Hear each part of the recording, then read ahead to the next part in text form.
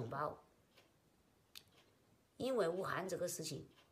武汉这个事情，武汉这个瘟疫，都是有计谋、有计划发出来这个瘟疫，牺牲的是我们平民老百姓，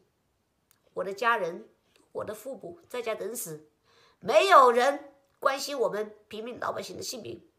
有钱也买不到药，有钱也买不到病房。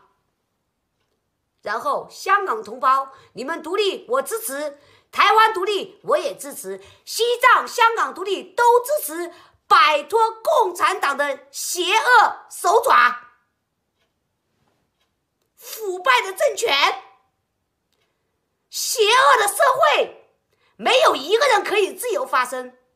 没有一个人，只有一个一个人自由发声，就去去警察局喝茶、拘留。判刑，法律是他们判的，他们能说判几多年就能判几多年，律师都没有用的，有一个正义的律师都会关起来，他不会为正生儿说话，因为他们有邪恶的政权压迫下不能正正正的说话。我要告诉你们，一个人牺牲，两个人牺牲。革命肯定是有血有肉来牺牲。我想站出来，我暴露出来，我就要站出来，我就要牺牲，为我的父母，为我的家人，为我以后的后代可以自由的生活。我发声，我也很危险，我也知道，但是我已经受不了了，受不了了。没有病床，没有医药。CCTV 讲的那个新闻全部都是假的，全部。